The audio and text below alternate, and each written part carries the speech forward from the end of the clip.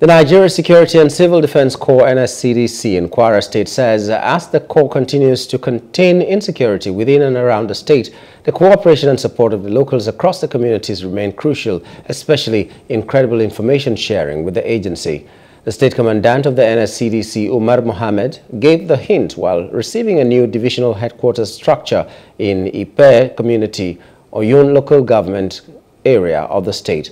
According to the NSCDC commandant in the state, there is need for increased vigilance and timely information sharing with the security agents to tackle the challenges.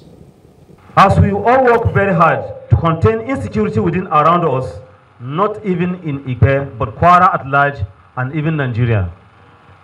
The cooperation and support of every members of the community is also immensely important to this area of sharing credible and prompt information to enhance our capacity since insecurity is everybody's business. The establishment of this division will no doubt improve operational efficiency, thereby reducing possible threats to our peaceful coexistence.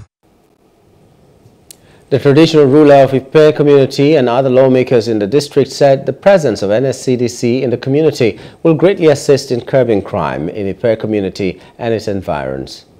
This project will bring peace and harmony to Ipe, and not only Ipe and its environment, because security is number one. Uh, where there is no security, there is no peace.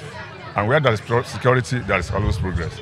So I believe with this project, there will be peace and progress in Ipe and its environment. You know, when this uh, division is here now, I believe with security agency, the crime will reduce in our country and repair and environment. Yeah, the coming up of this edifice, I believe, will change the security scope of this area. Uh, when farmers can go to the farm and go and farm in peace, where uh, hoodlums will not go and attack farmers. The problem of security, people, kidnappers will be feared because we have more men on ground to tackle them. So this will assist a lot in Oyun local government. Hello, hope you enjoyed the news. Please do subscribe to our YouTube channel and don't forget to hit the notification button so you get notified about fresh news updates.